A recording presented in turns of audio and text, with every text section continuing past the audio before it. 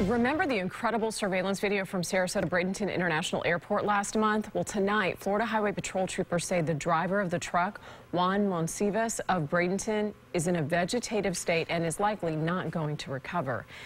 That crash caused about $250,000 in damage. No one else was hurt. FHP is still investigating.